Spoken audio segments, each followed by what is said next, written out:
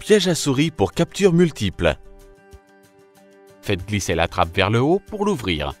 Amorcez le piège en utilisant du beurre de cacahuète ou de la nourriture riche en protéines, comme du chocolat ou des noisettes, dans le fond du bac disponible à l'intérieur du piège. Veillez à utiliser un coton-tige, un cure-dent ou un autre ustensile afin que votre odeur ne soit pas imprégnée sur le piège.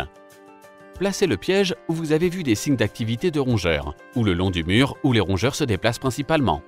Le piège doit être placé sur la longueur contre le mur avec le trou d'entrée le plus proche du mur. Après la capture d'une à quatre souris, faites glisser le haut de la trappe pour libérer les souris.